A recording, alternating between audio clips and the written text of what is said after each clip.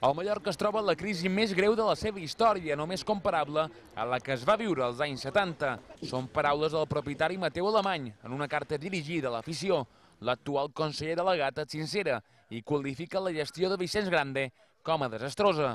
Alemany critica l'anterior propietat i també fa autocrítica quan diu que la venda del club a la família Martí Mingarro va ser una equivocació.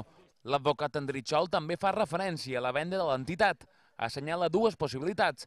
Una és que arribi un grup de mallorquinistes amb prou potencial econòmic i l'altra és que apareixi l'interès d'un empresari a l'estil Abramovich, és a dir, un home molt de doblers que sanegi els números del club.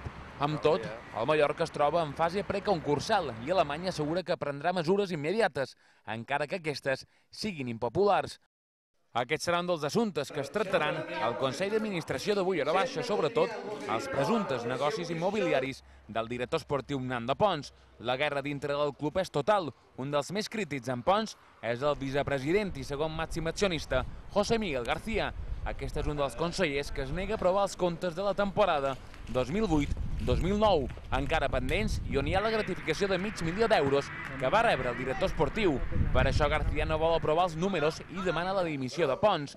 La decisió del director esportiu passa, però, per renegociar el seu contracte amb Alemany. En conjunt, avui pot haver una bona tempesta l'Ono Estadi. Els números no surten, a diferència del que passa amb el primer equip.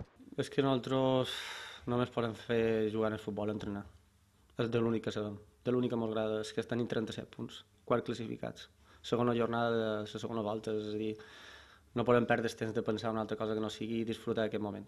Els futbolistes volen gaudir del gran moment esportiu i els consellers pretenen solucionar la greu crisi econòmica de l'entitat.